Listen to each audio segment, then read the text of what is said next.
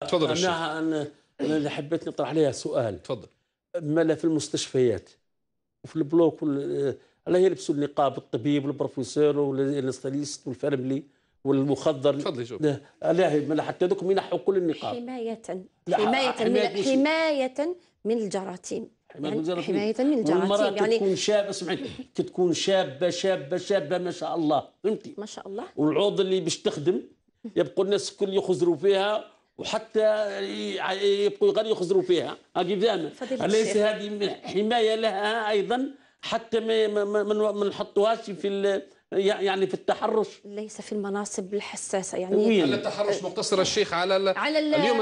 التحرش لكل النساء موجود حتى المحجبات يتحرشوا بها إحنا رانا نقولوا يعني إحنا لو تفضل، كان جا تفضل. القانون لو كان جا- القانون ويقول لازم تخدموا الكل بالنقاب إحنا نقولوا لا ال- الحرية الشخصنة خليوا المرأة اللي حابة تدير النقاب تدير النقاب واللي حابة ما تديرش النقاب ما تديرش النقاب. لكن- أقل قليل نحترموا بعضنا بعض.